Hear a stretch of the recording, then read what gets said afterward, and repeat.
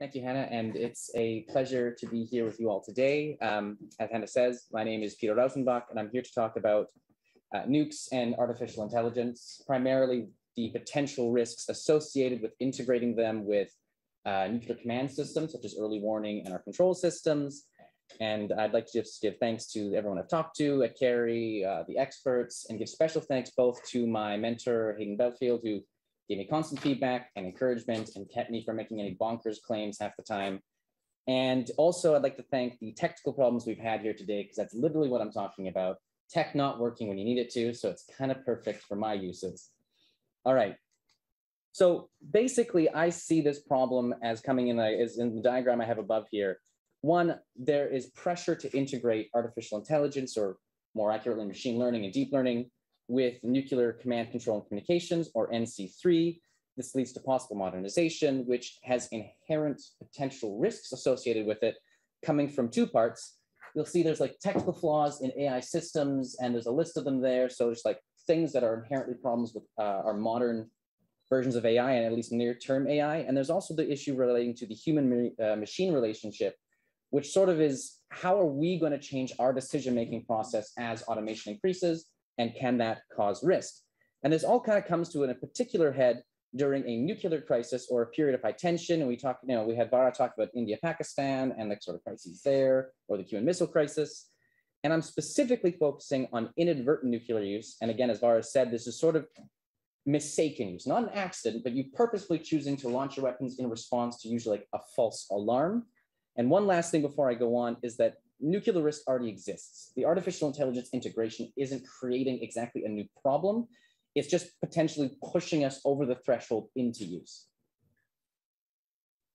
So I'll go over some of my motivation, definitions, bit of scope, then I'll jump into the inherent dangers, because my idea here is to list them and how they interact with nuclear strategy theory, especially for those who don't know much about AI or who's trying to figure out how this technology is going to impact what we've been doing for decades. And then I'll provide a quick analysis of some solutions and then probably skip over the funding thing altogether just because I'm gonna run out of time as one does when you try and smush 40 pages into 12 minutes. So quick couple definitions. As I said, machine learning and deep learning are primarily what I'm talking about when I say AI, because that's really what's allowed these advances in detection and automation that we'll see in the near future. NC3 again, nuclear command control and communications is in short, the whole apparatus we use to control weapons of mass destruction, prevent their use, plan for their use. This includes both human components and machine components. And then I'm focusing on the US and Western allies because one, that's what I'm best able to talk about. And two, a lot of what I'm saying can be generalized to most nuclear powers, obviously with some caveats, but the issue is more with the technology and our relationship with it rather than any particular state. So the background is that there's pressure to integrate, and this comes from a couple things. One, we're throwing billions upon billions of upgrading our, our command systems currently.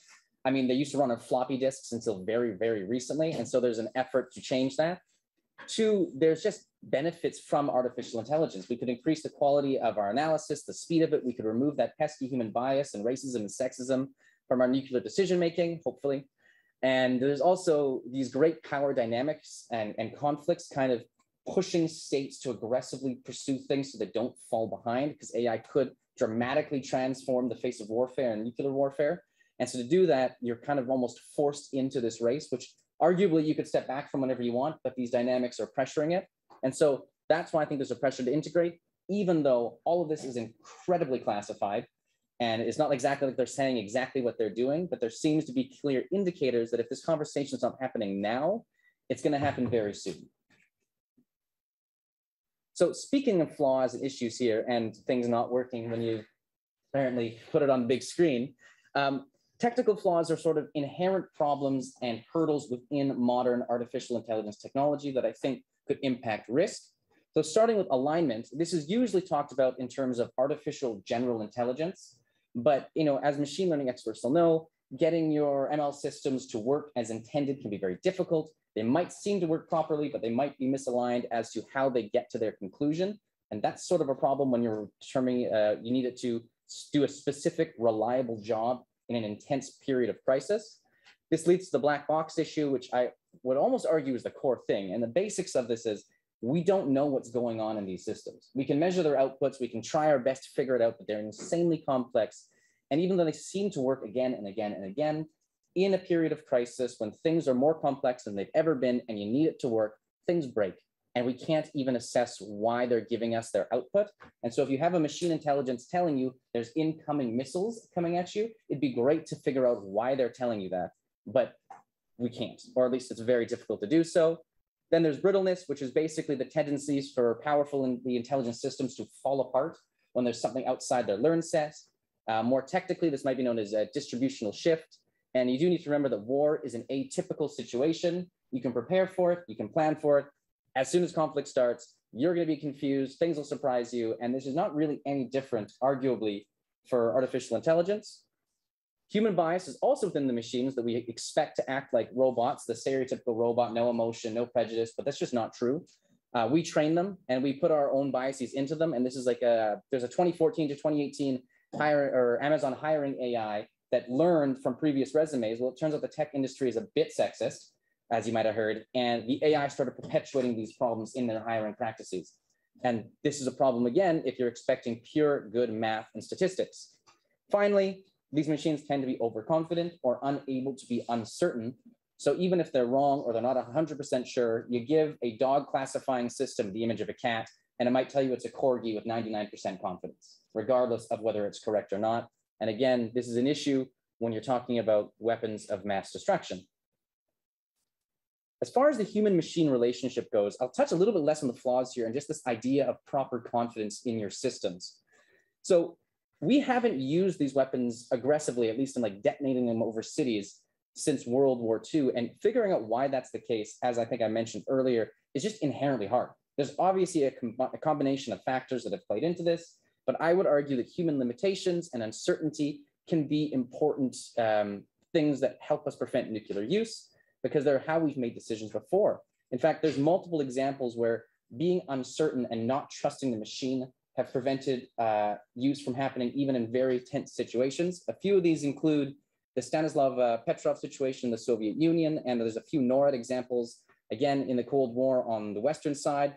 Basically, these involved computer systems indicating with high degrees of confidence that an attack was incoming, dozens of missiles at times. In the, in the um, NORAD one, it said there was over 2,000 Soviet missiles coming in. I mean, this turned out to be there was a faulty computer chip in that one. Again, in the Stanislav Petrov case, a faulty machine. Both were obviously wrong, but because the individuals had skepticism of their machines and what was going on, they figured it was a false alarm and decided to not trust their system. On the other hand, in 2003 in Iraq, there's something known as the Patriot missile fratricides. These are basically designed to shoot incoming ballistic missiles against uh, you know, American forces, but they had a 25% friendly fire rate. And two of these are key examples where one misidentified a friendly fighter jet as an incoming missile and shot it out of the sky, killing everyone involved. And another, they thought they were tracking another incoming missile. Turns out there was just nothing there. The machine made a mistake. They fired it into the air and it didn't find an incoming missile, but it did find again a friendly jet and shot it out of the sky. And it was found that the people in these systems had a culture of overconfidence and trust in the machine. There was an assumption that it would just couldn't be wrong and it was due to their training and too much trust, and people died. And so the point being that the correct amount of confidence and skepticism, regardless of how powerful your AI is, is imperative here, especially for some of these biases as I have back there, like automation bias. It's again, trust in the machine implicitly, sort of an issue. And then machine speed and out of the loop are linked. Basically, turns out computers are a little bit faster than we are, as you may have noticed. And this desire for them to work quickly in combat, face against cyber warfare, or weapons moving at the speed of sound means we might start pre-delegating combat authority to computers and artificial intelligences more and more simply because we need that speed, especially if adversaries have it. And that pushes humans further out of the decision-making loop. And the problem here is that our critical thinking skills are often touted as our as an ability to control the intelligent but kind of stupid AI systems we use because they just can't critically think. But if we get pushed out of the loop more and more, well, then we can't be there to stop them from making bad decisions. And, and again, in the nuclear weapon case, potentially leading to mass use and genocide and death. So this is an incredibly important thing to remember.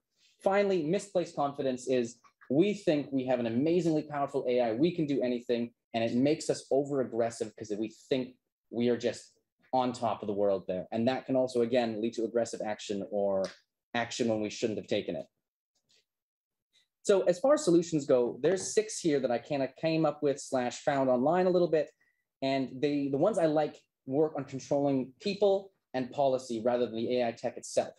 So keeping humans in the loop, I don't think is a good solution. Again, because that machine speed issue, I think we're going to be pushed out somewhat necessarily to keep up with the pace of warfare. Even if you disagree that's what you should do, it may just happen as we automate more and more. Not integrating AI with nuclear command, again, while it is good to argue for this potentially, I just find it incredibly unlikely that in the next 10, 15 years that we're just not going to see more and more automation in these systems. So you might be uh, fighting against the inevitable. And improving AI to eliminate technical problems, maybe it's a possibility. Some of these problems may be unsolvable, and at least in the next 10 years, given how long defense procurement takes, today's problems are going to matter. And so we kind of have to work around these. Now, for the ones I like, updating nuclear policy to reflect a changing paradigm could be, so for example, right now you can fire your weapons within like a couple minutes if you needed to. Basically, you can fire them in a couple minutes, 30 minutes later, you build a sun in someone's city and you wipe it out right? Now, if we were to make it impossible to fire them so quickly, then regardless of how broken our people, our systems are, we can't accidentally cause genocide. Now, this has high impact, but very low probability, but it's still something to consider. There's ensuring better training, again, instilling the better confidence and skepticism in our people to know what's going on. Again, high probability this case, medium to low impact. And finally, confidence building measures or CBMs basically reduce uncertainty and tensions between nations. They give a clear understanding of where states stand. So for example, indicating that human hands will only ever be in control of the launch decision, which the UK has done would be a great start. This is lower impact, but arguably necessary and important to making sure that we can change policy. And with that, I'm actually done perfectly on time. Thank you so much.